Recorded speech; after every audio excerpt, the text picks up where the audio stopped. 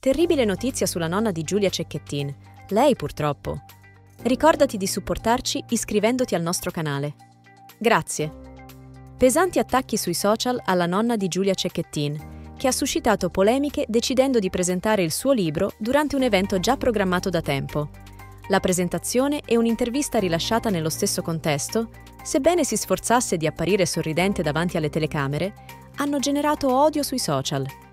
Il tutto è accaduto nel corso della giornata contro la violenza sulle donne, un dettaglio che ha alimentato ulteriormente le critiche.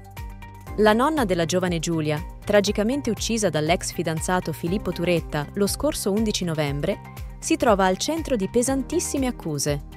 Carla Gatto è stata duramente contestata per aver proceduto con la presentazione del suo libro in precedenza pianificato, mentre l'autopsia della nipote barbaramente uccisa era ancora in corso.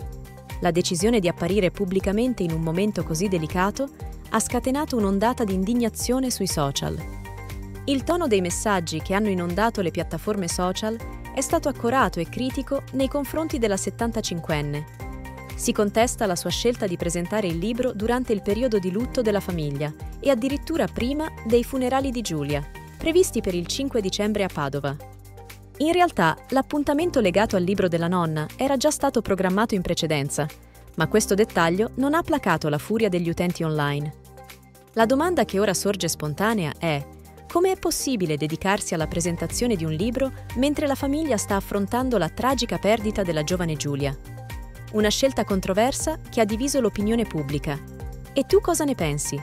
Scrivilo nei commenti.